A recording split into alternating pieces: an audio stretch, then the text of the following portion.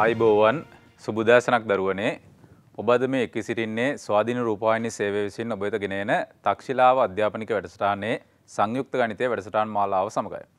දුළුපුතලට මතක ඇති අ, පසුගිය වැඩසටහන් අ, කිහිපයෙන් අපි දුළුපුතලත් එක්ක සාකච්ඡා කරා දෙදස් විසියක ඒලෙවල් විභාගය ඇස- විභාගය සඳහා අපි ගොඩනගපු අනුමාන ප්‍රශ්න පත්‍රය.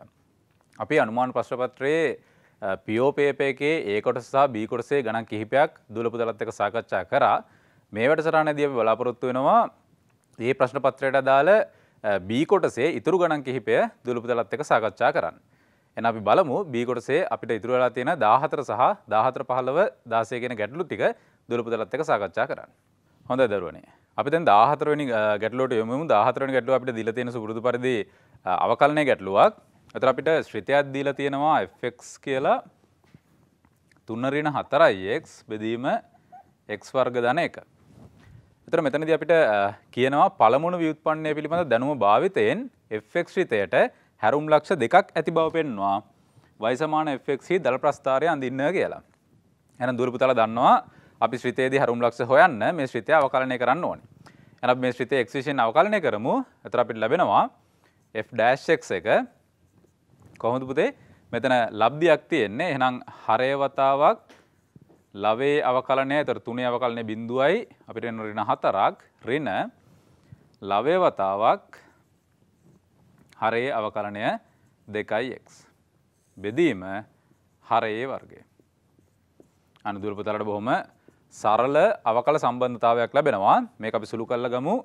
මෙතනින් අ, පුතලට එනවා ධන 4x වතාවක් 2x ධන 8x වර්ගයක්. අ, මෙතනින් එනවා ඍණ 4x වර්ගයක් ඒ දෙක සුළු වුණාම ධන 4x වර්ගයක් ඒ වගේම ඍණ 3යි 2x එක වැඩි වුණාම ඍණ 6x එකක් ලැබෙනවා ඒ වගේම මෙතනින් පුතාලට ඍණ 4කුත් ලැබෙනවා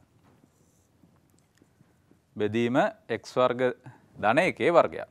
එහෙනම් දැන් අ, දුල පුතාලට පුළුවන් මේක හැරුම් ලක්ෂ හොයන්න මේ සම්බන්ධතාවය බිඳුවට සමාන කරන්න. ඊට කලින් මම මේක සාදගත් වෙන් කරගෙන ඉන්නම්.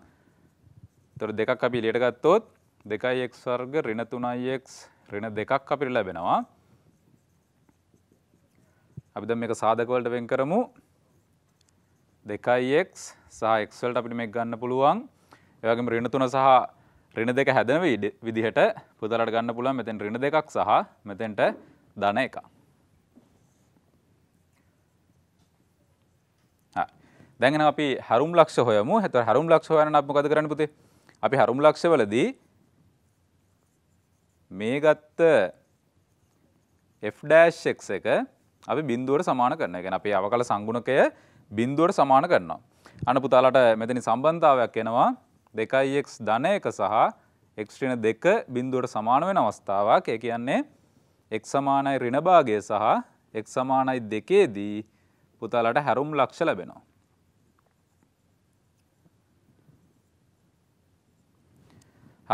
හරි. දැන් එහෙනම් මේ ගැටලුවේදී මේ ප්‍රස්ථාරය ඇඳගන්න අ, පුතාලට මේ හැරුම් ලක්ෂවලදී තියෙන උපරිමයක්ද අවමයක්ද කියන එක හොයාගන්න ඕනේ. එතකොට අපි මේකේ අ, මේ ප්‍රස්ථාරයට දාලා අනුක්‍රමණ විශ්ලේෂණයකට යනවා. එතකොට මේ අනුක්‍රමණ විශ්ලේෂණයකට යන්න කලින් පුතාලා මතක තියාගන්න අපේ ශ්‍රිතයේ හරය බිඳුව වෙන අවස්ථාවක් අපිට තියෙනවාද කියන එක. එතකොට හරය බිඳුව වෙන අවස්ථාවක් තියෙනවා නම් ඒ අවස්ථාවත් අපි මේ අනුක්‍රමණ හැසිරීම ඇතුළට ගේන්න ඕනේ.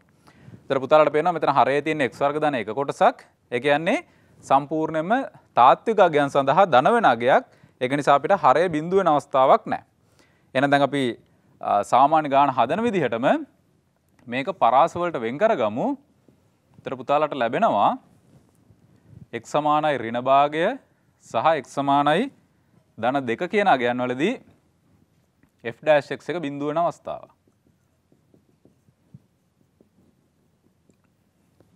හරි. එහෙනම් මම මේ පුතාලා මතකතුව මෙන්න මේ සම්බන්ධතා ටික ලියා ගන්න මේ කලාපවල එහෙම නැත්නම් මේ පරාසවල තියෙන අසමානතා අගයන්. එහෙම නැත්නම් මේ x වලට ගන්න පුළුවන් අගයන් මොනවාද කියන එක මතකතුව ලියන්න. මොකද මේ සම්පූර්ණ ලකුණු හම්බෙන්න නම් මෙතන මේ අසමානතා කොටස අනිවාර්යෙන් ලිවිය යුතුයි. එහෙනම් මේ කලාපය අපිට ගන්න පුළුවන් ඍණ භාගයට වඩා අඩු කලාපය, ඒ වගේම ඍණ භාගයත් දෙකත් අතර කලාපය සහ දෙකට වඩා වැඩි කලාපය. අන්න පුතාලා ඍණ භාගයට වඩා අඩු කලාපයක් අපේ අනුක්‍රමණ ශ්‍රිතයට ආදේශ කරලා බලන්න අ, කොහොමද මේ අනුක්‍රමණය හැසිරීම කියන එක. එතන මතක තියාගන්න මෙතන හරය කොහොමද ධනගය නිසා හරයට දත්ත ආදේශ කරන්න අවශ්‍ය නැහැ. එතකොට ඍණ එක වගේ අගය පුතාලාට මේ උඩට ආදේශ කරලා බලන්න පුළුවන්. මෙතෙන් රින ආදේශ කරොත් මේක ඍණයි මේකට සත් ඍණයි. ඒතකොට ඍණ ඍණයෙන් වැඩි වුණාම පුතාලට ධනක් ලැබෙනවා. ඒ වගේම ඍණ භාගයයි දෙකයි අතර මම බිඳුව වගේ ආදේශ කරන්නම්. එතන මෙතන බිඳුවයි මෙතනත් අපිට එනවා ධනවතාවක් ඍණ ඍණ අවස්ථාවක්. ඒ වගේම දෙකට වඩා වැඩි ආගයක්. තුන වගේ ආදේශ කරලා පුතාලට මේ අවස්ථාව සම්පූර්ණයෙන්ම ධන කියලා ගන්න පුළුවන්. උතර මේ විදිහට මේ අවකල සම්බන්ධතාවය පාවිච්චි කරලා අපිට අනුක්‍රමණ හැසිරීම කතා කරන්න පුළුවන්. අන්න බලන්න පුතේ. මෙතනදි කොහොමද මේ අනුක්‍රමණය ලැබිලා තියෙන්නේ? ධන බිඳුව මෙතනදි බිඳුවයි මෙතනදී බිඳුව නිසා x අක්ෂයට සමාන්තර වෙනවා. එතකොට ධන බිඳුව ඍණ අවස්ථාවක් තියෙන්නේ. ඒ කියන්නේ පුතාට ලැබෙනවා අවම අවස්ථාවක් ඒ වගේම ඍණ බිඳුව ධන බිඳුව ඍණ අවස්ථාවක් උපරිම අවස්ථාවක් ඍණ බිඳුව ධන අවම අවස්ථාවක්. ඒතර මෙන්න මේ විදිහට පුතාලට x සමානයි ඍණ භාගයේදී උපරිමයකුත් x සමානයි දෙකේදී අවමයකුත් ලැබෙනවා. x සමානයි ඍණ භාගයේදී අපිට fx අගයත් හොයාගන්න පුළුවන්. ඒතර fx අගේ ඍණ භාගය ආදේශ කරලා බලන්න පුතේ. මෙතනින් අපිට ලැබෙනවා 3 රින දෙකක් එකයි. මෙතනින් අපිට ලැබෙනවා එක යට දෙකේ වර්ගයක්. හතරයි පහයි. හතර බෙදීම පහක් කියලා අපිට අගේ ලැබෙනවා. එනම් ඒවගේම අපිට එක් සමානයි ධන දෙකේදී Fx එක හදාගන්න පුළුවන්. අටයි රින පහයි. බෙදීම ධන පහක් ඒ කියන්නේ රින එකක් විදියට. අන පුතාලට රිනභාගය සහ හතර බෙදීම පහේදී ස්ථානීය උපරිමයක් ලැබෙනවා. ඒ වගේම ධන දෙක සහ රිනයකේදී ස්ථානීය අවමයක් ලැබෙනවා. තර පුතාල මතක ඇතුව මෙන්න මේ අවස්ථා දෙක හොයල ඉවර වෙලා එතනදී අපි උපරිමයක් සහ අවමයක් ලබාගත්තා කියන එක බොහොම පැහැදිලිව පෙන්නලා තියන්න මතක තියාගන්න. දැන් එනම් අපි මේ ගැටලුව ඉතුරු ටික එහෙම තමයි ප්‍රස්ථාර ඉතුරු ටිකට යන්න අපි හොයාගන්න ඕනේ ස්පර්ශෝන්මුඛ ටික. ඒතර හරය බිඳුවක් කියන්නේ නැති නිසා සිරස්පර්ශෝන්මුඛ නැහැ. එහෙනම් අපි දැන් තිරස්පර්ශෝන්මුඛ ටික හොයමු.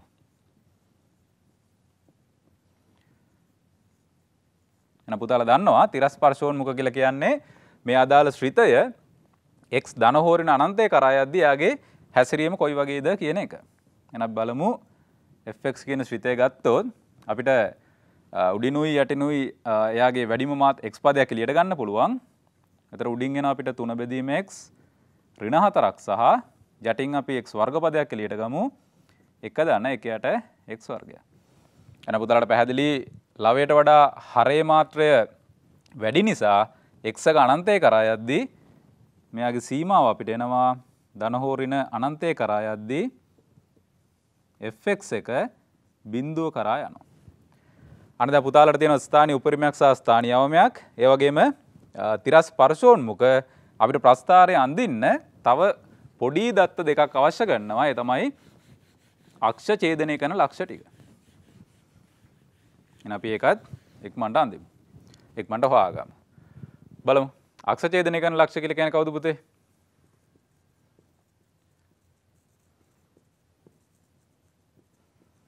එක් සමානයි බින්දුවේදී y අගයයි y සමානයි බින්දුවේදී x අගයයි. බලන්න x සමාන බින්දුව ආදේශ කරොත් පුතාලට ලැබෙනවා y අගය තුන විදිහට. ඒ වගේම y සමාන බින්දුව ආදේශ කරොත් පුතාලට ලැබෙන x අගය තුන බෙදීම හතරක් විදිහට. එහෙනම් මේක බින්දුව තුන කණ්ඩාංග විදිහටත් තුන බෙදීම හතර බින්දුව කණ්ඩාංග විදිහටත් ලකුණු කරන්න පුළුවන්. දැන් අපි ප්‍රස්ථාරයට යමු. මේක වයක්ෂය එක්සක්ෂය මූල ලක්ෂය. ඒවගේ පුතාල මතකතු මේ ලක්ෂටික ලකුණු කරන්න. බින්දුව තුනේදී වයක්ෂය ඡේදනය වෙනවා. එම මේ වගේ තැනක් ගන්න තුන.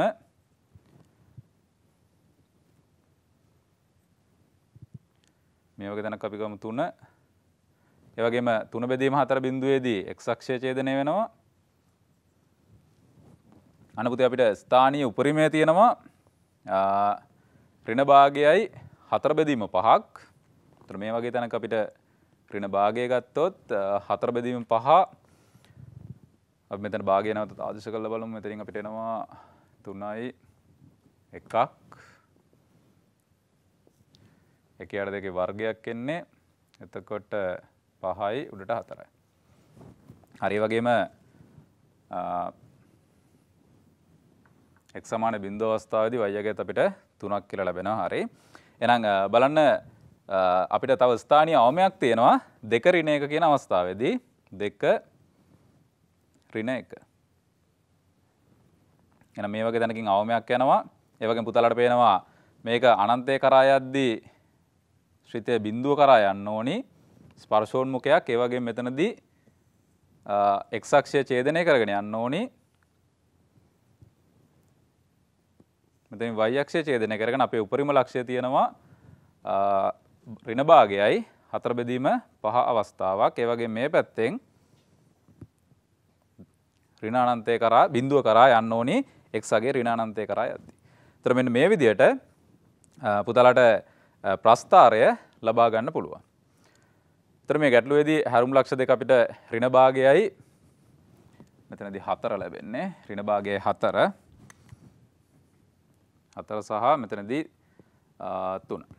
ක්‍රණ භාගයයි හතර. එතොට මෙන්න මේ විදිහට පුතාලට බොහොම සරලව මේ ප්‍රස්ථාරය විසඳ ගන්න පුළුවන්. ඒවගේ අපිට මෙතනති කියනවා එම ප්‍රස්ථාරයෙන් භාවිතයෙන් වයිසමානයි මාපාංක එෆෙක්සි ප්‍රස්ථාරය වෙනත් එක්වයි තලයක අඳන්න කියලා. එන පුතාලට මේක දිහා බලලම ඒ ප්‍රස්ථාරයත් ලබාගන්න පුළුවන් බලන් පුතේ දැන් මේ ප්‍රස්ථාරය අපිට ලැබිලා තියෙන වයිසමානයි එෆෙක්ස් කියන ප්‍රස්ථාරය එනම් වයිසමානයි මාපාංක එෆෙක්ස් කියන ප්‍රස්ථාරය පුතාලට ගන්න පුළුවන් මේ ප්‍රස්ථාරයේ රින කොටස් ඔක්කෝම එක්සක්ෂය දර්පණය කරගෙන ප්‍රතිබිම්බයක් ඉදිර උඩට ගෙනාවන. නමෙන් මේ විදිහට පුතාලට ඒ ප්‍රස්ථාරය ලැබෙනවා. මෙතනින් පහලට යනවා එක මේ ප්‍රස්ථාරද මේ පැත රින්නට ගිහිල්ලා තියෙන නම් මේකොට සම්පූර්ණයෙන්ම ධන පැත්තට හැරෙන්න ඕනේ. මෙන්න මේ විදිහට. ඒතර මෙතනගේ දෙකයි තුන බෙදීම හතරයි මෙතන තුනයි මෙතන හතරයි මෙතන ඍණ භාගයක් සහ මෙතන පුතාලට ලැබෙනවා ධන එකක් විදියට. එහෙනම් මෙන්න මේ විදියට y සමානයි මාපාංක fx ප්‍රස්ථාරය පුතාලට ගන්න පුළුවන්. එහෙනම් මේ ගැටලුවේම ඉතුරු කොටස සහ ඒකේ b කොටස දුල පුතාලත් එක්ක සාකච්ඡා කරන්න මම ප්‍රගිස්සයට ආරාධනා කරනවා. හොඳ දරුවනේ. දැන් අපි මේ වෙනකොට y සමාන fx මාපාංකයේ ප්‍රස්ථාරය ඇඳගෙන ඉවරයි. දැන් බලන්න ගාන ඊට පස්සේ කියනවා එනයින් එනයින් තුනරින හතරයික් මාපාංකය EX රින එක් වර්ගය රින එක සමානය බින්දුව සමීකරණය මූල ගැනනේ සමීකරණය තාත්තික මූල අඩුම ගානේ තුනක්වත් තියෙන්න ඕන කියලා තමයි කියන්නේ. දැන් අපි ඇඳපු fx අපිට මතකයිනේ. fx කවුද? fx අපි බැලුවොත් fx අපේ fx ගේ මාපාංකය දැන් මේ ඇඳගෙන තියෙනවා fx ගේ මාපාංකය මොකක්ද 3 රින 4x එතකොට ඒක මාපාංක වෙනවා එක් වර්ගයේ ධන එක නම් ඉතින් මාපාංගේ ගන්න දෙයක්වත් නැහනේ. අනිවාර්යෙන් ධනනේ. එතකොට මෙන්න මේක තමයි fx ගේ මාපාංගය. දැන් අපි ඇඳලා තියෙන්නේ මේ ඇඳලා තියෙන්නේ මෙන්න මෙයාව. දැන් අපි බලමු ඒ කොටස හදා ගන්න පුළුවන් විදිහක්. මේ මේ දෙන්නා මෙහා පැත්තට දාගමු. 3 රින 4x ex ඉන්නවා පුතේ. දැන් බලන්න අර fx ගේ මාපාංගය හදා ගන්න පුළුවන් කොහොමද අපිට? fx ගේ මාපාංගය හදා ගන්න පුළුවන් මේ කැලම හෙට ගෙනවනේ. 3 රින 4x මාපාංගේ මේ කුට්ටියම මේ පල්ලෙහාට මෙතෙන්ට බස්ස ගන්නවා. එතකොට මෙතන එකයි මේ EX පල්ලෙහාට ආපුවාම මේ තියෙන්නේ කවුද? මේ තියෙන්නේ fx ගේ මාපාංකය. මේ තියෙන්නේ කවුද? E වල ඍණ x.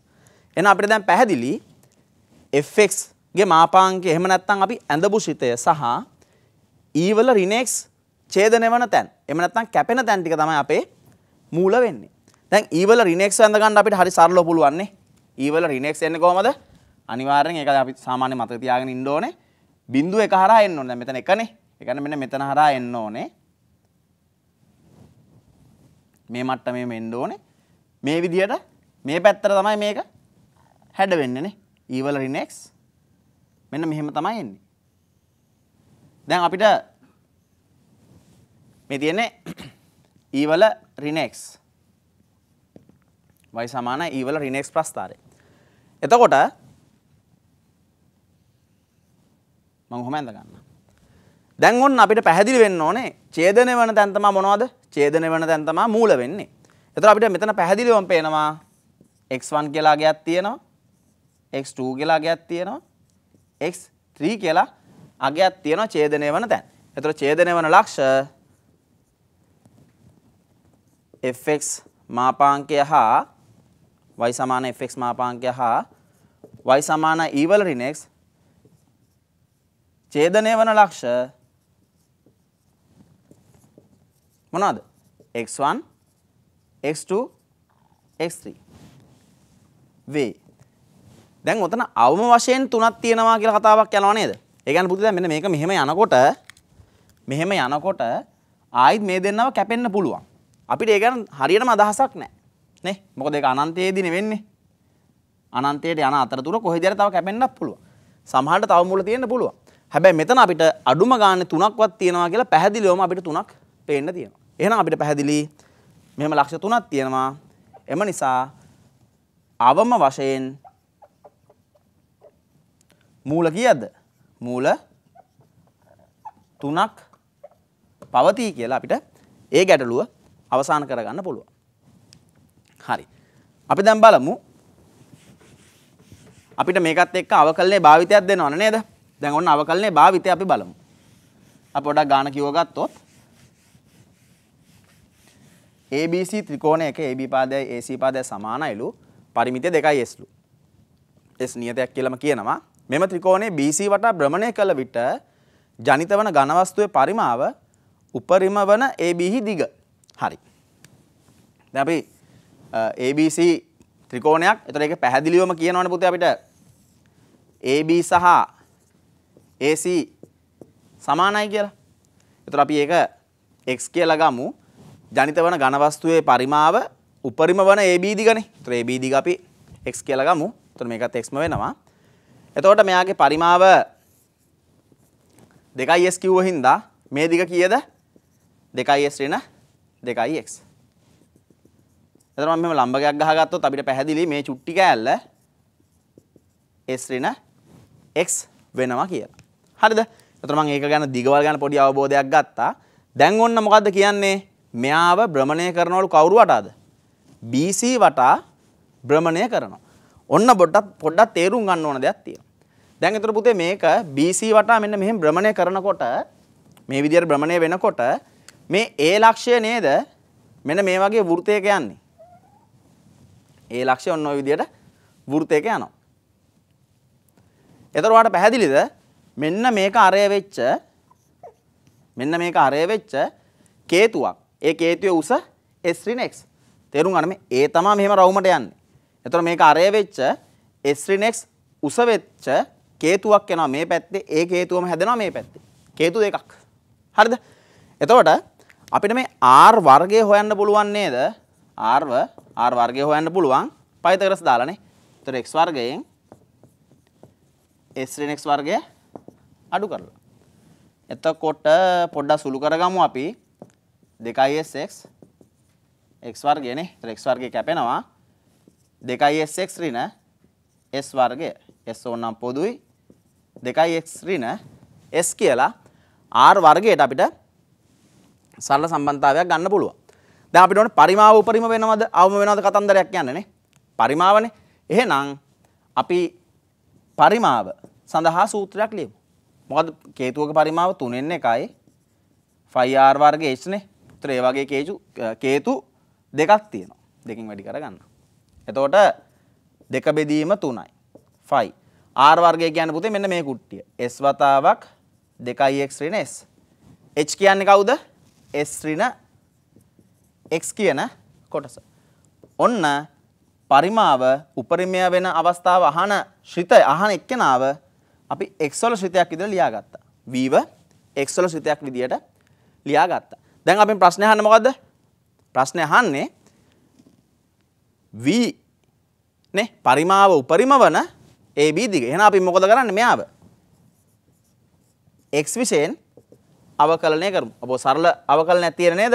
2.5s බෙදීම 3 තියාගමු. නියතනේ 2.5s බෙදීම 3 නියතයක්. 2x ඍණ s තියාගත්තා. ගුණිතයක අවකලනයක්. මේක අවකලනය කරුවම ඍණ 1යි. s ඍණ x තියාගත්තා. මේක අවකලනය කරපුවම පුතේ 2යි. 2.5 s බෙදීම 3යි. එතකොට මෙතන මොනවද එන්නේ? දෙකයි s එකක් එනවා මේකත් එක්ක ඔක්කොම 3යි s වෙනවා. ඍණ 2x මෙතන ඍණ 2x ඍණ 4x එනවා. එහෙනම් අපි ගාන මෙතෙන්ට ගමු. dv dx සමානයි බිඳුව වන්නේ මොන වෙලාවේද? 3x ඍණ 4x බිඳුව වෙනකොට ඒ කියන්නේ x කියන්නේ 3s බෙදීම 4 වෙලාවේ. එහෙනම් බලමු මෙතන උපරිමයක් දෙන්නේ කියලා. x කියන්නේ 3s බෙදීම 4. එතකොට මේ පැත්තේ x විශාල වෙන්න ඕනේ 3s බෙදීම 4ට වඩා. මේ පැත්තේ x කුඩා වෙන්න ඕනේ 3s බෙදීම 4ට වඩා බිඳුවට වඩා ලොකුයි. නේද? අපිට මේ මෙතන මේ x කාට වඩා කුඩා වෙන්න ඕනද? නිකන් මේ x කියන එක අනිවාර්යෙන් s ට වඩා කුඩා වෙන්නත් ඕනනේ. ඔන්න ඔය කසුන් සර් ඉස්සලා ගානේදීත් ඕගලන්ට කිව්වා මෙන්න මේ පරාස ගැන අවබෝධයක් ඕගලන්ට තියෙනවා කියලා ඕගොල්ලෝ පෙන්වන්න ඕනේ. එතකොට s කියන එක x ට වඩා පොඩි වෙන්නත් ඕනේ. එතකොට දැන් අපි dv by dx ලකුණ මෙතන අනිවාර්යෙන් බිඳුව. නේද? මේ පැත්තේ මේ තියෙන්නේ දැන් 0.75යි s නේ. 0.8යි x වගේ දැම්මොත් ඔයාලට පැහැදිලි. 0.8යි x මෙතෙන්ට දාලා බලන්න. එතකොට ඍණ වෙනවනේ. එතකොට 0.5යි x වගේ දාලා බලන්න මෙතෙන්ට. එතකොට ධන වෙනවා. එතකොට හැඩය ධන ආ එහෙනම් 3s බෙදීම 4දී තමයි අපිට අන්තිමට ගාන ඉවර කරන්න පුළුවන්. එම නිසා AB x කියන්නේ AB ඈ. AB කී වෙලාවේද? 3s බෙදීම 4 විට පරිමාව උපරිම වේ කියලා. නේද?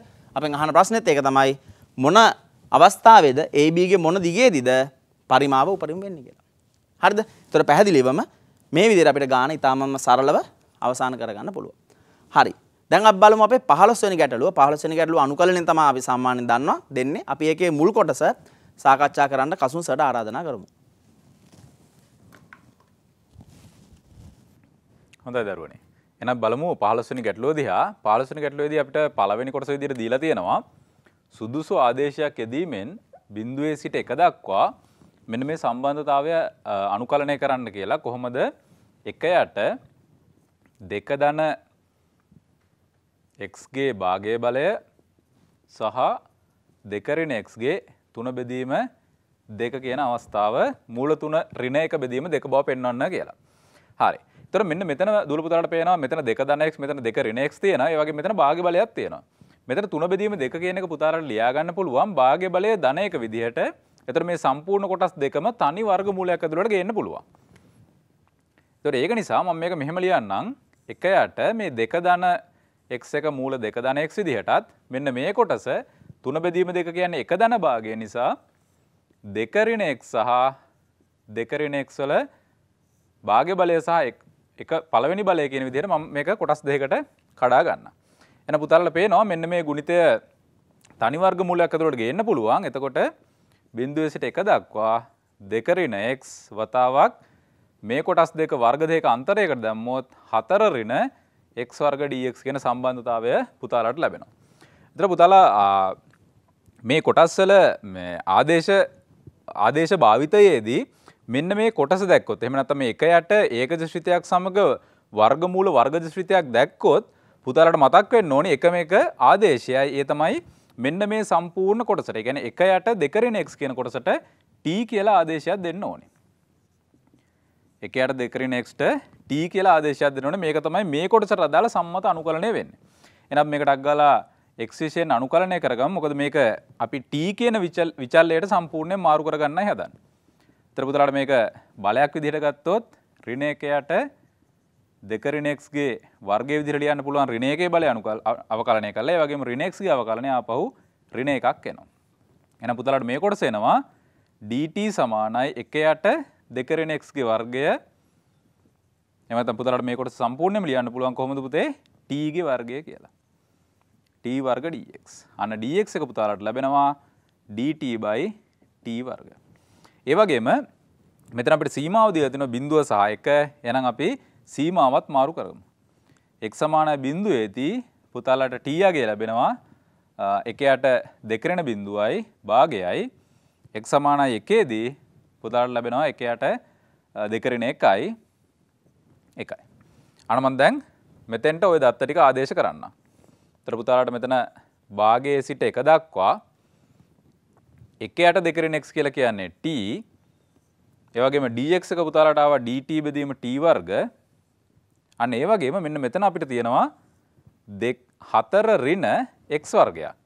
එතකොට පුතලා මතක තියාගන්න මේක සම්පූර්ණයෙන් t වලට හැරෙවුවා නම් මේක ඇතුළේ නැවත x පද තියෙන්න බෑ. එහෙනම් මෙන්න මේ අපි දීපු ආදේශය හරහා මෙතෙන්ට අපිට x වලට අගයක් ගන්න පුළුවන්. අන්න පුතාලට දෙකරින් x එක ලැබෙනවා එකයට t කියලා. අන්න x කියලා කියන්නේ දෙකරින එකයට t. එහෙම නැත්නම් 2t ඍණ එක බෙදීම t. මෙන්න මේ විදිහට x වලට පදයක් ගන්න පුළුවන්. එහෙනම් දැන් මම මේක මෙතෙන්ට ආදේශ කරන්න. 2t ඍණ එක බෙදීම t. හරි. දැන් බලන්න පුතේ. මෙතන x වර්ගයක් තිබ්බ නිසා මෙයාගේ වර්ග කොටසකුත් එනවා. දැන් මේක පොදු හරයකට ගන්න. ඒතර පොදු හරයකට ගත්තොත් වර්ගමූලයෙන් t වර්ගයක් එළියට එනවා.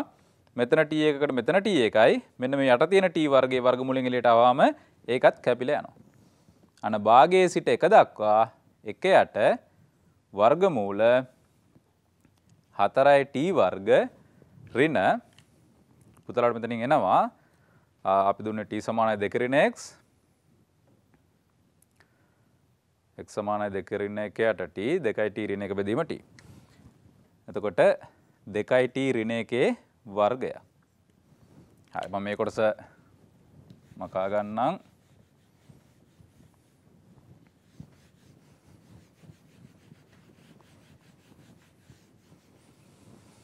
හරි දැන් මේක සුළු කරන්න බලන්න පුතේ අන්න අපිට ලැබෙනවා භාගයේ සිට එක දක්වා එක යට මෙතන 4t වර්ගයට 4t වර්ගය කැපිලා යනවා අන්න පුතාලාට වර්ගමූලය ඇතුළේ ඉතිර වෙනවා 4t ඍණ එකක් මෙන්න බොහොම පහසු අනුකලනයක්.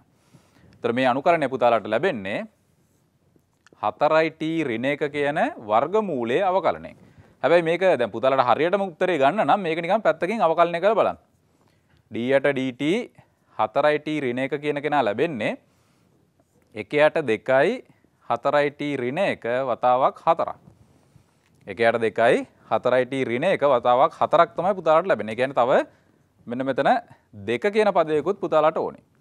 තර දෙක කියන පදයකුත් ඕනි නිසා මගේ දෙක කියන ඉලක්කම මෙතන මේ ද මේ පදේ නැහැ එක නිසා මේ දෙක කියන ඉලක්කමෙන් මෙවා බෙදලා ගන්න.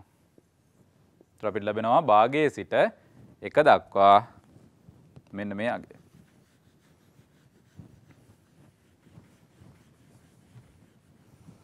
අන්න දැන් පුතේ මේකට දත්ත ටික ආදේශ කරන්න දත්ත ටික ආදේශ කළ සුළු කරලා ගත්තා නම් පුතාලට මේක ලැබෙනවා මූල තුන ඍණ එක බෙදීම දෙක විදියට. මේ වගේ සරල ආදේශයක් බවට පත් කරගෙන මේ ගැටලුව පුතාලට විසඳන්න පුළුවන්. අපි නම් මේකේ ඊළඟ කොටසටත් බලමු ඊළඟ කොටස අපිට මොකද්ද දීලා තියෙන්නේ කියලා.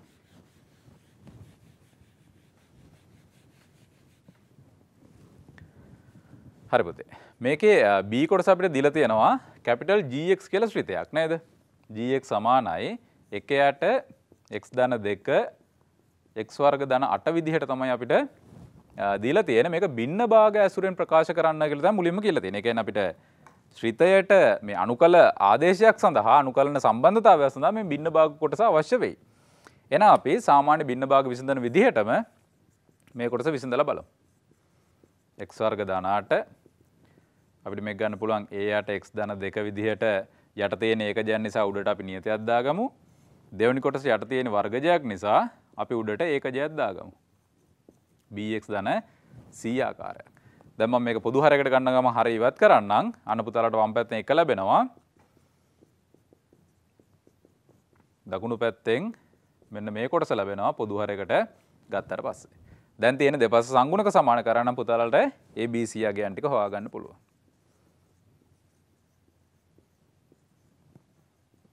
හරි අපි බලමු දෙපස සංගුණක සසඳන්න මම x වර්ගය ගන්නවා. ඒතර වම් පැත්තේ පුතාලට x වර්ගයක් නැහැ.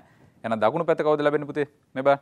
මෙතනින් අපිට ax වර්ගයක් ලැබෙනවා. ඒ කියන්නේ a පදයක් ලැබෙනවා. ඒ වගේම bx එක x එක්ක වැඩි වෙලා තව bx වර්ගයක් ලැබෙනවා. අන්න අපේ x වර්ගයේ සංගුණක ටික a ධන b කොටස බිඳුවට සමාන වෙන්න ඕනේ. ඒ වගේම අපි x පද බලමු. වම් පැත්තේ x පද නැහැ.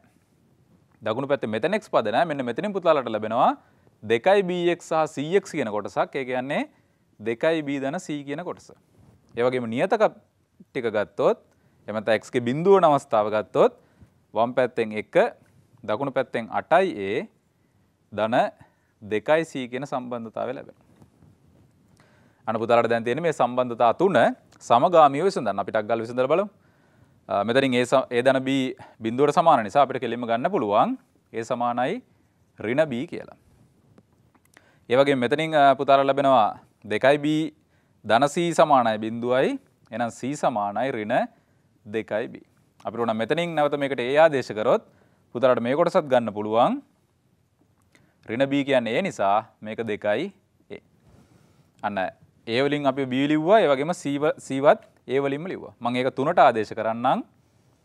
එතකොට අපි ලැබෙනවා එක සමානයි 8යි A ධන 2යි C කියලා කියන්නේ 4යි A.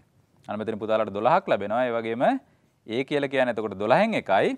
අපි ඒක මේ සම්බන්ධතාවය අසුරෙන් ගත්තොත් මේක 4 කියලා ගන්න.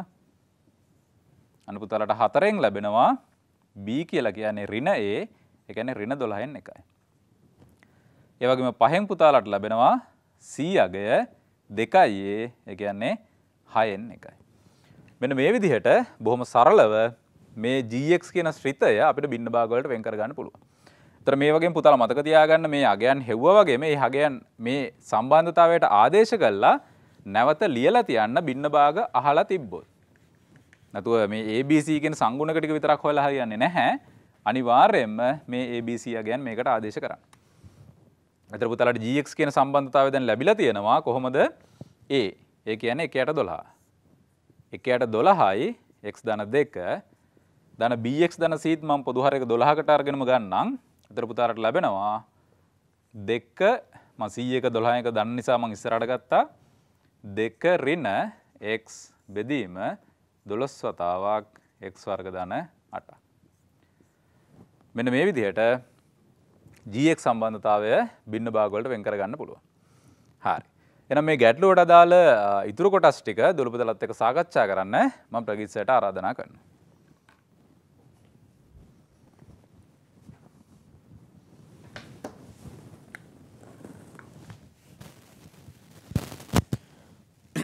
හොඳ දරුවනේ.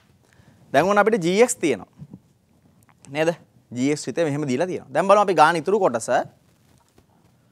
අපිට කියනවා දැන් සිම්පල් GX කියන්නේ මොකද කතන්දරයක් කියනවා මේ සිම්පල් GX කියන්නේ මෙන්න මේක බව අපෝහණය කරන්නලු. C අභිමත නියතයකි. GX යනු මේ තියෙන්නේ? G dash X GX වන පරිදි ශ්‍රිතයක් එතකොට අපිට ගන්න තියෙන GX දැන් ඔයාලට තේරෙනවා මේකෙන් GX ගන්න මොකද කරන්න ඕනේ? දෙපැත්තම x විශයෙන් අනුකලනය කරන්න ඕන නේ. එතන මේක g dash කියන එක අනුකලනය කරපුවම x විශයෙන් gx නේ එන්නේ. ආ එහෙනම් මේ අහන්නේ මොකද්ද? මේ කොටින්ම අහන්නේ මෙන්න මේ gs කියන සිතේ අනුකලනය මොකක්ද කියලා තමයි අහන්නේ නේ. capital gs කියන සිතේ අනුකලනය තමයි ඔය simple gs කියන්නේ. හරිද? එහෙනම් මෙන්න මේක අනුකලනය කරමු. දැන් අපිට ඔන්න අ, බින්න භාග කසුන්ස අරගෙන දීලා තියෙනවා. අපිට මේක දැන් අනුකලනය කරන්න තියෙනවා. මේක අනුකලනය කරමු අපිට දැන් මේක එතකොට 12 එක එළියට දාගමු නේද? x දාන 2. අ මෙතන දෙකයි ඍණ x උයි කොටස් දෙකකට අල්ලමුකෝ.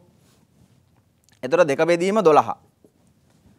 නේ? දෙක බෙදීම 12 කියන්නේ 6න් එකයි dx x වර්ගය දාන 8 එනවා. ඍණ ඍණ x තියෙනවා x වර්ගය ධන 8. එයාගේ 12 තියෙනවා. ඔයාලට දැන් මේකත් අනුකලනය කරන මෙතන පොඩ්ඩක් හිතලා බලන්නකො මේ යට එක්කෙනාගේ අවකලනේ උඩ තියෙනවා මෙතන දෙකකින් වැඩි කරාන. එහෙනම් අපි පල්ලෙහාත් දෙකකින් එච්චරයි කළේ ඈ උඩයි පල්ලෙහායි දෙකකින් ಗುಣ කරගත්තා විතරයි. හරිද? අනිත් ඒවා අරවම තමයි ඈ. දෙක බෙදීම 12 කියන්නේ 6න් එකයි. හරි නේද? ඍණ x බෙදීම 12 යට x වර්ග ධන 8 තියෙනවා. දෙකක් උඩටයි පල්ලෙහාටයි දාගත්තා. දැන් අ, දැන් ඉතින් අනුකලනය කරන කරගෙන යා.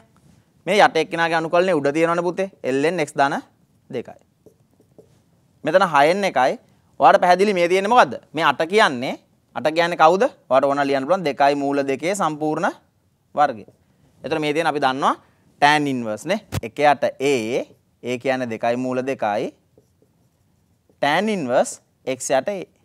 a කියන්නේ හරිනේ 2යි මූල 2යි. මෙතන ඍණ 1 යට 24යි ln යට එක්කෙනාගේ අවකලනය උඩ තියෙන අපි හැමමයි හදාගත්තේ. එතකොට මොකක්ද දෙන්නේ? අනුකලනය? ln x වර්ගය ධන 8 ධන c.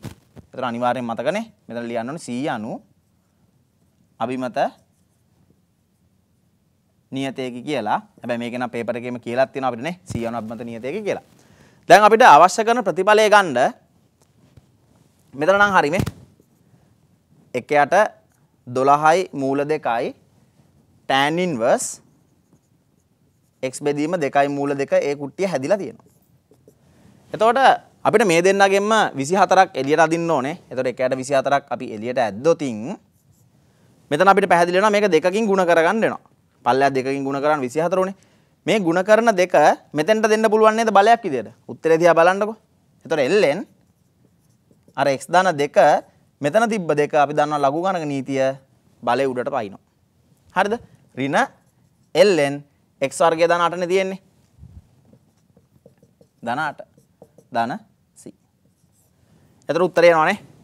එකයට 12යි මූල 2යි tan inverse x බෙදීම 2යි මූල 2 මෙතන එකයට 24යි ln x ධන දෙකේ වර්ගය අපි දන්න ලඝු ගණක නීතිය x වර්ගය ධන 8 විදියට ඒක බෙදන්න පුළුවන්. මෙතන ධන c. හරිද? එතකොට ওই විදිහට අපිට අවසාන පිළිතුර ගන්න පුළුවන්. එයා කියන උත්තරයම ඒ විදිහටම එනවා. හරි. එතකොට අපි අනුකලනයේ c කොටසට යමු. අනුකලනයේ ගැටලුවේ c කොටසට යමු. අපි පොඩක් බැලුවොත් i වල n කියලා දීලා තියෙනවා xn sin x dx නම්. අපිට ප්‍රකාශනයක් පෙන්වන්න තමයි තියෙන්නේ නේද? හරි. අපි බලමු එහෙනම් මේ ප්‍රකාශනය ගන්න කොහොමද කියලානේ. in කියන්නේ x වල n වතාවක් sin x ලු. එතකොට අපිට ශ්‍රිත දෙකක ගුණිතයක් තියෙන්නේ. ඒතර අනිවාර්යයි කොටස් වශයෙන් අනුකලනය අපිට යන්න වෙනවා. අපි දන්නවා iLate අපිට දාන්න පුළුවන්. එතකොට මේ තියෙන x වල එකක් ඒ කියන්නේ VG එහෙම නැත්නම් arithmetic ශ්‍රිතයක් තියෙනවා. sin කියන්නේ trigonometric. හරි. එතකොට ශ්‍රිත දෙක අපිට පැහැදිලි. එතකොට කොටස් වශයෙන් අනුකලනය කරද්දී අපි මේ පැත්තට බලනවා මුලින් හම්බෙන ශ්‍රිතය තියාගන්න. එහෙනම් x එන්න තියාගමු. තියාගෙන මේ sin x ගේ අනුකලනය මොකද්ද? ඍණ cos x. ඒක අනුකලනය කළා. ඍණ ලකුණ දැම්මා. මේ උත්තරයම මෙතනින් ලියන්න ඕන. ඍණ cos x කිව්වම මේක ධන වෙනවා. නේ? අර අනුකලනය කරලා ආපු පිළිතුර ලියාගෙන මොකද කරන්නේ මතකද කොටස් වශයෙන් අනුකලන. මෙයාව අවකලනය කරලා ලියනවා. එහෙනම් මේක අවකලනය කරපුවම n පයින්නවා ඉස්සරහට ඍණ 1යි. හරි. එතකොට ඍණ xn වතාවක් cos x එතන සෙට් වෙනවා. මෙන්න පුතේ මෙතනින් n එකක් එළියට පයින්නවනේ. ඒක නියතේනේ. ආයෙත් කොටස් වශයෙන් අනුකලනය නේද? cos එකයි x වල n ඍණ 1යි. අර දෙන්නමයි ඉන්නේ. ඇරිත්මැටික් එකකුයි ට්‍රිගොනොමෙට්‍රික් එකකුයි. එහෙනම් වීජ්‍ය ශ්‍රිතේ තියාගෙන අපි වරහනක් දාගමු අපේ වාසියට නැත්නම් අපිට වරදී n එක එළියට දාගත්තා.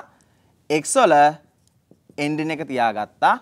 දැන් සුපුරුදු පරිදි මෙයාව අනුකලනය කරනවා. cos x ගේ අනුකලනය මොකද්ද? sin x. ඍණ මෙයාව ලිව්වා. sin x ලිව්වා. මෙන්න මේ ශ්‍රිතය x වල n ඍණ එක දැන් අවකලනය කරන්න ඕනේ. මොකද වෙන්නේ කියන්නේ? n ඍණ එක ඉස්සරහට x වල n ඍණ දෙකයි. හරි නේද? එහෙනම් දැන් අපි බලන්න උත්තර ටික මේ x වල n cos x. මෙතන n වතාවක් x වල n ඍණ එක sin x. මේක සුළු කරොත් එහෙම n උත් වෙනවා n ඍණ එකක් තියෙනවා. පුතේ ඉතුරු වෙලා තියෙනවා බලන්න මේ පැහැදිලිව පේනවාද ඔයාට? ඉතුරු වෙලා තියෙන කවුද? sin x එකක් තියෙනවා. x වල n ඍණ දෙකක් තියෙනවනේ. ආ එහෙනම් බලන්න මේ. අර අපිට ලබා ගන්න තියෙන උත්තරය බලන්නකෝ. i වල n ඍණ දෙක තියෙනවා ගන්න. හරිද? බලන්න උත්තරේ. In ධන n වතාවක් n ඍණ එක i වල n ඍණ දෙක තියෙනවා. මේ i වල n ඍණ දෙක කියන්නේ මොකද්ද? i වල n මේක නම් i වල n ඍණ දෙක කියන්නේ x වල n ඍණ දෙකේ බලය sin x නේ. මේ ඒකම තියෙනවා. නේද? මේ තියෙන්නේ කවුද? i වල n ඍණ දෙක තමයි. එහෙනම් එයා කියලා දෙන උත්තරය ගන්න පුළුවන්. මේ තියෙන in නේ පුතේ. අරකට මෙහෙට පන්නමුනේ in තියෙනවා. අරක මෙහෙට එන්නේ කොහමද? ධන n වතාවක් n ඍණ එක i වල එන්ඩින දෙකයි. එ උත්තර බාන්ඩ මේ දෙන්නගෙන් එක්සොල එන්ඩින එක එලියට දාන්න කියලා කියන්නේ නේ. එලියට දාපුවම එන් වතාවක් සයින්ෙක් එක තියෙනවානේ ඔයෙන් ලස්සන්ට. මේක රින වෙනවා. එක්සොල එන්ඩින දෙකක් දාපුුවම් මෙතන එකක් එක එක් එකක් ඉතුරු වෙන කොස් එක් එක කොහොමත් තියෙන එතර ඔය විදිහට අපිට එයා ඉල්ලන උත්තරය හරියටම දෙන්න පුළුව හරිද? එතර ඔය විදිහට අපිට අනුකලනය ගැටලුවත් ඉතාමම්ම සරලව පැහැදිලිව විසඳ ගන්න පුළුව අපි දැම් බලමු අපේ දා සේවන ගැටලුව කණ්ඩාං ජාමිතියෙන් දීල තියෙන ගැටලුව. එක සලරේකාව කොටස ඔකොලොත් එක සාකච්ඡා කරන්න. මම කසුන් සට ආරාධනා කරනවා. හොඳ දරුවනේ. අපි නම් බලමු දා සේවනි ගැටලු අපිට කොහොම දීලා තියෙන කියලා. අපිට සරල රේඛා දෙකක් දීලා තියෙනවා. L1 සහ L2 කියලා සරල රේඛා දෙකක්. L1 සමානයි AX ධන BY ධන C සමානයි බිඳුව. L2 සමානයි PX ධන QY ධන R සමානයි බිඳුව. අපිට කියනවා සමාන්තර නොවන සරල රේඛා දෙකක් එහෙනම් සමාන්තර නොවන සරල රේඛා දෙකක් නම් පුතාලට පැහැදිලි මේක අනිවාර්යෙන් ඡේදනය වෙනවා. එකවර ශුන්‍ය නොවන ලැම්ඩා සහ මිව් පරාමිති සඳහා ලැම්ඩා L1 ධන මිව් L2 ලැම්ඩා L1 ධන මිව් L2 සමානයි බිඳුව බව සාධනය කරන්න කියලා කියන කොහොමද? L1 සමාන බිඳුව L2 සමාන බිඳුව සරල රේඛා දෙකේ ඡේදන ලක්ෂ්‍ය හරහා යන සරල රේඛාවක් නිරූපණය කරනවා බව. නිරූපණය කරන බව. ඒ කියන්නේ මේ සර් මේ ඡේදන ලක්ෂ්‍ය හරහා යන ඕනෑම සරල රේඛාවක් තමයි පුතාලට මේ ලැම්ඩා L1 සහ මිව් L2 ආකාරයෙන් ලැබිලා තියෙන්නේ. හරි එතකොට මේක සරල සාධනයක් තියෙන්නේ. මම චේදන ලක්ෂය ගන්නම් ඒ කියලා. මේ චේදන ලක්ෂය ඒ කියලා ගත්තොත් අපිට මේකට දාගන්න පුළුවන් x නෝට් y නෝට් සම්බන්ධතාවයක්. එතකොට මේ ඒ කියන චේදන ලක්ෂය මේ රේඛා දෙකම මත බැවින් රේඛා දෙකම තෘප්ත කරන්න ඕනේ. L1 L2 හි ඡේදන ලක්ෂය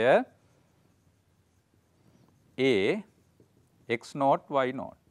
ඒතර පුතාලා මේක අතින් දාගන්න එකක් නිසා අනිවාර්යයෙන්ම ඒ අතින් දාගන්න දේවල් ලියන්න. මේ මොකද්ද මේ අපි ගත්තේ කියන එක අනිවාර්යෙන් ලියලා තියන්න. ඒ වගේම මේ ඒ ලක්ෂය අපි දන්නවා L1 L2 මත.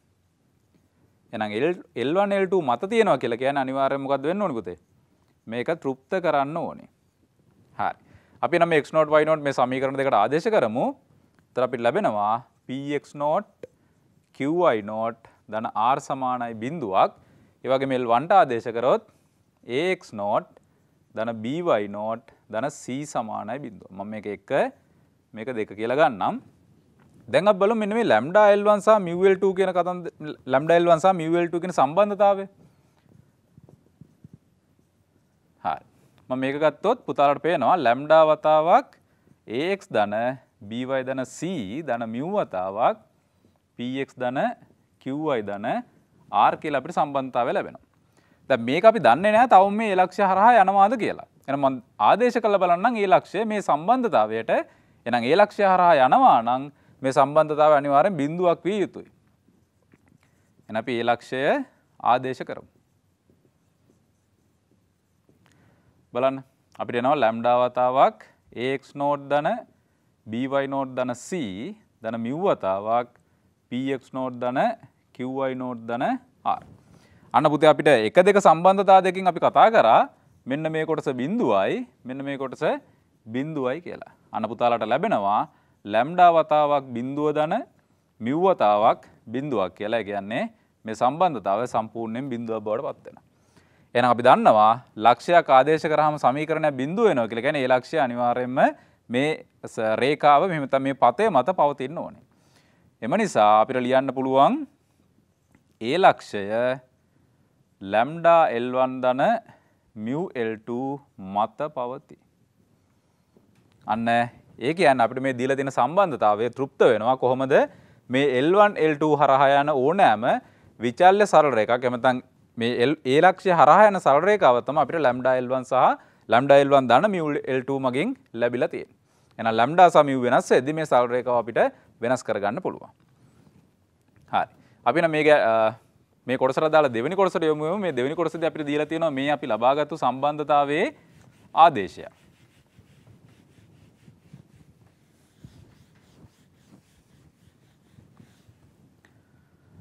හරි පුතේ. දැන් අපිට කියනවා ABCD චතුරස්‍රයක් තියෙනවලු. ඔන්න ABCD චතුරස්‍රයක් මම ගන්නම්. AB CD අපිට AB BC CD DA පාදවල සමීකරණ දීලා තියෙනවා කොහොමද? 2x ධන 10යි y ඍණ 9 සමානයි බිඳුව. මම මේක ගන්නම් L1 ඒ වගේම BC සම්බන්ධතාවය දීලා තියෙනවා 8ix ධන y ඍණ 1 සමානයි බිඳුව. මම මේක ගන්නම් L2 CD සම්බන්ධතාවය දීලා තියෙනවා x ධන 5යි y. ඍණ 5 සමානයි. බිඳුව මම මේක ගන්නම් L3 ඒ වගේම ඒ DA සම්බන්ධතාවය අපිට දීලා තියෙනවා. 7ix ඍණ 4යි y ඍණ 15 සමානයි. බිඳුව මේක L4 අන පුතලට කියනවා ඒ සහ C ලක්ෂවල කණ්ඩාංක නොසොයා AC විකරණයේ සමීකරණය සොයන්නලු. එතකොට ලක්ෂවල කණ්ඩාංක හොයන්න එපාලු AC විකරණයේ සමීකරණය හොයන්නලු. අන්න දැන් පුතාලට පේනවා මේ AC විකරණය කියන්නේ L1 L4 රේඛා දෙක රේඛා දෙකේ ඡේදන ලක්ෂ්‍ය හරහා යන සමීකරණයක්. එහෙනම් අපි ගමු මේ A ලක්ෂ්‍ය හරහා යන ඕනෑම සාධාරණ සමීකරණයක්. ඒ හරහා යන ඕනෑම සමීකරණයක් අපිට ගන්න පුළුවන් ලැම්ඩා L1 ධන මිව් L4 බිඳුව ආකාර වේ මෙතන මතක තියාගන්න අපි ලැම්ඩා සහ මිව් කියලා කියන්නේ බිඳුවට සමාන නොවන මොන හරි නියත අවස්ථා දෙක. හරි. දැන් එහෙනම් අපි එකවර බිඳුවට සමාන නොවන අවස්ථා දෙක. දැන් එහෙනම් මේ දත්ත ටික මේකට අපි ආදේශ කරලා බලමු. අන්න බලන්න පුතේ ලැම්ඩා වතාවක් L1 කියන්නේ කවුද? 2x ධන 10 රින් 9 ධන මිව් වතාවක් L4 එක එනවා 7x රින 4y රින 15 සමානයි බිඳුව. එතකොට මේක තමයි අපේ AC සමීකරණය වෙන්නේ හැබැයි නියත L1 සහ නියත μ කියන අගයන් දෙකකදී. එහෙනම් දැන් අපිට තියෙන්නේ මේ ලැම්ඩා සහ μ කියන නියත අගයන් දෙක හොයාගන්න. දැන් ඒ දෙක හොයන්න මම මෙහෙම වැඩක් කරන්නම්. අපිට මේ AC විකර්ණය යනවා C ලක්ෂය හරහා. මම C ලක්ෂය ගන්නම් x0 y0 කියලා. ඒ වගේම C ලක්ෂය අපි දන්නවා මෙන්න මේ L2 L3 රේඛා දෙක මත තියෙනවා. C L2 L3 ඒ වගේම AC මත. බැවින් මේ ටික ඔක්කොම තෘප්ත කරන්න ඕනේ. හරි. අපි බලමු. මම මේ ලක්ෂය 2ට L3ට ආදේශ කරන්නම් 8x0 ධන y0 ඍණ එක සමානයි බිඳුව මම මේක එක කියලා ගන්නම්. ඒ වගේම x0 ධන 5යි y0 ඍණ 5 සමානයි බිඳුව මම මේක දෙක කියලා ගන්නම්. ඒ වගේම අපි AC සම්බන්ධතාවයත් ලියාගමු. ලැම්ඩා 2x0 ධන 10යි y0 ඍණ 9 ධන mu 7යි x0 ඍණ 4යි y0 ඍණ 15 සමානයි බිඳුව. හරි දැන් පුතාලට මේ සම්බන්ධතා තුන පාවිච්චි කරලා කොහොම හරි මේ ලැම්ඩා මිව් අතර සම්බන්ධයක් ගොඩනග ගන්නයි තියෙන්නේ. ඒතර පුතාලට බැලුවහම පේන්න ඕනේ මෙන්න මෙතන තියෙනවා 2x නෝට් ධන 10y නෝට් කියන කොටසක්. ඒතර 2x නෝට් ධන 10y නෝට් කියන කොටස අපිට මෙන්න මේ දෙක කියන සම්බන්ධතාවයෙන් ලබා ගන්න පුළුවන්. බලන්න මම දෙක කියන කෙනා දෙකෙන් වැඩි කරනවා. දෙක දෙකෙන් වැඩි කරොත් පුතාලට ලැබෙනවා 2x නෝට් ධන 10y නෝට් ඍණ 10 සමාන බිඳුවයි. ඒ කියන්නේ මේ කොටස ධන 10ක් බවට පත් වෙනවා. ඒ වගේම මෙන්න මේ 7x නෝට් වෙන 4y නෝට් කොටස පුතාලට ගන්න පුළුවන් එකෙන් දෙක අඩු කරා නම්. එකෙන් දෙක අඩු කරොත් 7x නෝට් ඍණ 4y නෝට් මෙයාගෙන් මෙයා අඩු කරොත් අපිට ලැබෙනවා ධන 4ක් ඒක මම එහා පැත්තට ගෙනියන්නම් ඍණ 4යි. ආ මම මේ කොටස් දෙක දැන් තුනට ආදේශ කරන්න. තුනෙන් අන්න පුතාලට ලැබෙනව කොහමද? ලැම්ඩා වතාවක් මෙන්න මෙයාගේ 10යි 10න් 9ක් ගියන් 1යි. ධන මිව් වතාවක් 7x නොට් වෙන 4y y නොට් කියන්නේ ඍණ 4යි ඍණ 4යි ඍණ 15යි පුතාලට ලැබෙනවා ඍණ ඍණ 4යි ධන 4යි හැපතර ගෙද ඍණ 4යි න ඍණ 4යි ඍණ y නොට් එකක් ගත්තේ සෝරි ඍණ 4යි ඍණ 15යි ඍණ 19ක් අපිට ලැබෙනවා අන්න පුතාලට මිව් වගේ ලැබෙනවා එහෙම නැත්නම් 19යි මිව් සමානයි ලැම්ඩා කියලා අගයක් ලැබෙනවා මම මේ දත්තය ආදේශ කරන්නම් මෙන්න මේ සම්බන්ධතාවයට. බලන්න පුතේ. ලැම්ඩා සමානයි 19යි මිව්. 19යි මිව් සමානයි 2x ධන 10යි වයි ඍණ 9 ධන මිව් වතාවක් 7යි x ඍණ 4යි වයි ඍණ 15 සමානයි බිඳුවයි අන්න මිව්ට මිව් සුළු වුණාම මේ කොටස පුතාලට AC සමීකරණය විදිහට ලැබෙනවා. සරල සුළු කිරීමක් මම අවසාන උත්තරේ විතරක් තියන්නම් 15යි x ධන 62යි වයි ඍණ හැට දෙක සමානයි බිඳුව. මෙන්න මේ විදිහට පුතාලට සරල රේඛාව කොටස අවසන් කරගන්න පුළුවන්. අපි මේ ගැටලුවට අදාළ වෘත්තය කොටස දුරපතලත් එක්ක සාකච්ඡා කරන්න මම ප්‍රගීත්සයට ආරාධනා කරනවා.